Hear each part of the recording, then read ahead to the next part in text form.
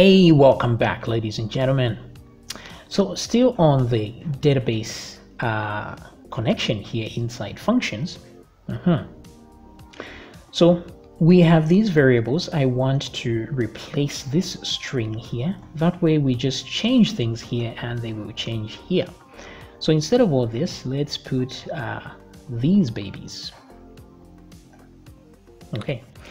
Now, for the sake of um, okay no worries there. Let me just copy this and let me put it here instead and put a dot so I can concatenate. So remember this is what the driver is.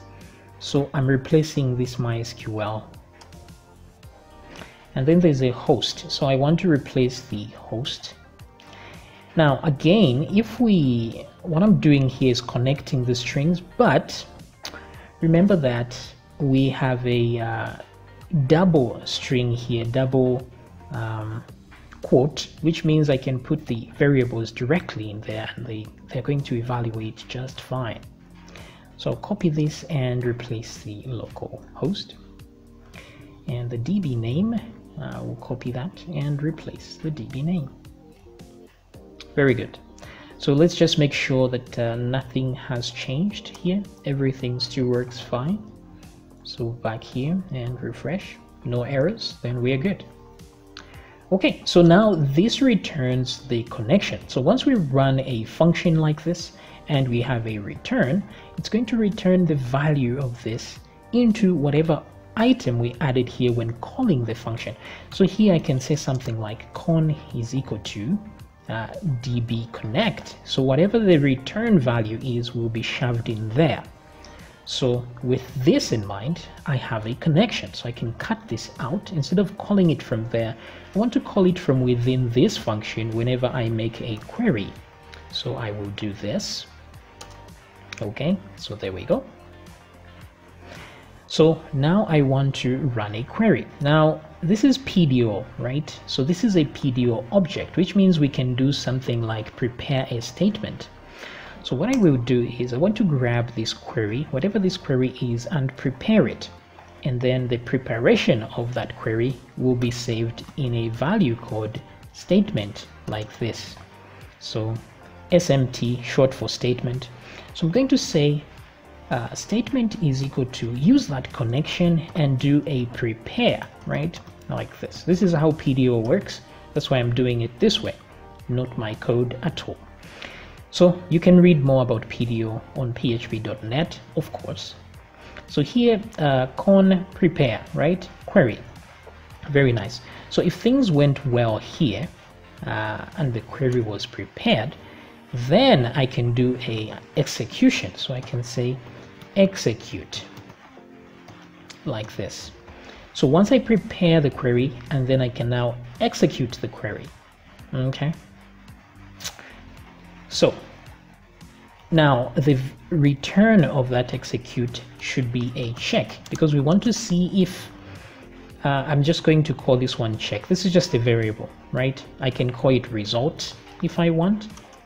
Uh, that's uh, up to me. But uh, yeah, maybe let's call it that. Looks more uh, standard. So the result is an execution of this query. Now, normally a query will not have variables, or sometimes it won't. But if it does have those variables, we're going to need this data array to so it can get the actual variables, uh, the information from the variable. So we'll put it inside here. So this is why I put it like this to have a default value. That way I don't need to check if there's data for me to add it there. So I can just put it there, even though there's no data, it will be empty, so no problem. And then we have to check if a result uh, came back well. So if result, because I don't want us to try and get some data from an empty or a false result. So if result is true, then let's do a, uh, let's get the data, right? So if result, I'm going to say data is equal to, oh, this is a problem. So I'm re overwriting this value here. So let me not use data. This is why I didn't want to use result here. Let me use check instead, right? So that here I can say result, right? So result is equal to, uh, statement. Uh, let me call it uh, fetch all, like that. Mm -hmm. So fetch all will get all the results, right? Now fetch all takes in one parameter if you want to, to tell it what kind of data you want to return. Do you want to return it as an object or as an array? So in my case, I want us to use arrays for ease of use. Um, you can choose to use objects, that's entirely up to you. Uh, I do prefer objects actually, they're easier to work with, but it's entirely up to you. I don't know. Um, anyway, let's use arrays. Most people like arrays, so this way we'll say PDO and do the double dot, and then we'll use um, wait wait wait uh, we have to use the word fetch underscore assoc okay. So if we would you wanted to get objects instead you do that but let's use the associative arrays and get that instead. Okay so fetch. So why the double dots here? Now if you notice here we are doing we're using an arrow like this. This is because um, PDO, this is a class. So when you're trying to get a function from within a class, use an arrow like this, okay? It can either be a function or a variable that is inside a class. You use this, like so. Now, this is a different version of this. So this one is what we get, what we use when the function or the variable, this time, this in this case, this is a variable. We know that because it doesn't have those double uh, brackets, so it's a variable. So it means we're getting a variable from within the PDO class, but we are getting it as a static value. So this may be something difficult to understand between static and an instance but if you want to know more about object-oriented programming, I have a whole series on my channel. Just go to playlists and check it out. But this is the same as doing this, right? We are simply from PDO, we are getting a, uh, a value there.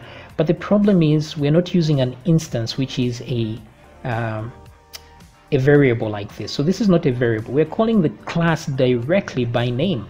And when you do that, you can't use this. This is just for instances or copies, uh, like I had shown you there when you're making a copy of a, an object.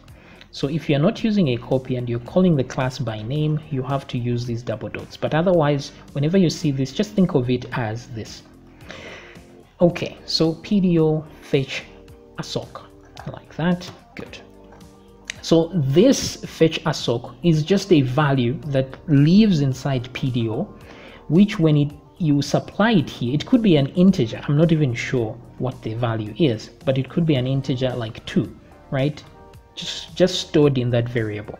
So whenever it sees that, it knows, okay, the number 2 is for an associative array, number 1 is for a normal array, number 3 is for an object, but it's difficult to remember numbers. So what they did instead is they put actual text as variables which represent those numbers. This is why it's just easier to remember this than to remember a specific number. That's why we're using that. Okay, anyway, uh, result. Now, result can be several, uh, the result of this can be several things. Number one, it could be a boolean. So it could be, it could return false, right? That could be one value that's returned. Number two, it can return an array that is empty. Number three, it can return an array with actual data. So these are the three possible outcomes of this. So we have to account for each one of these and know. So the only time I want to return this result is when I get number three. I don't care about this one. I don't care about this one either. So uh, any of these I don't care I just care about this so what I would do is I'm just going to say if uh, let's say is array so that's that eliminates one of them result so the only time it's an array is on two of these occasions. So we've gotten rid of this. So obviously if it returns false it won't run here but it may run if it's empty or if it has values. So what I will do instead is say and let's put an and here and count or we can just say not empty. That's one way to do it. Not empty result but I want to be very specific. So not empty can mean a lot of things. Um, could be an empty string etc etc it will still work as not empty but I want to be specific. I want to say count uh, result is greater than zero like so. So if the amount of items in here as an array is greater than zero. So if it returns as false the moment it checks this that's why we're starting with is array and not this one. Because if we start with this we put it here and then the result is false it, this will generate an error because you can't do a count on false okay? But you can do it on an array because it's countable. So we must put it in such a computers like to be efficient. So if you put an and like this and then you put two uh, conditions here what it would do is the moment it checks the first one if this one is false it won't even bother with the second one because regardless whether this ends up as true, it won't matter because this one is false. So it still won't go through here. So what it does is ju it just checks the first one. Whether you've put many or 20 ands here, it won't care. If this one is false, it will abandon the whole thing and just continue down here. So this means if we return a false, it will never check for this, therefore we will never get an error because the moment it checks the first and says, okay, this is false, it will exit. So good, good, good, good, good. So far so good, but at the very bottom here, we're just going to add a return false. Now, it's always a good idea to add a return value right at the end of a function, just so in case there's nothing that's returned here, you still return something at the end. But if things went well and we got here, we will never get to this because we will return right here. Because return exits the function. The moment it sees a return it will return that value and ignore the code below it. So at this point we just want to return the result. And that's it. So if things go well and it returns here it will never get here. If it doesn't return a result then it will be forced to get here and return something. Okay pretty good. Simple and straightforward. So let's see if we can try uh, one um, query here. So what I want to do is I want to insert some data in the users table. Okay? So um, let's see how we can do all that in the next video yes so this query will run all queries so we just call this and it will call the other function and then it will run a query. So we'll see how to do that in the next video.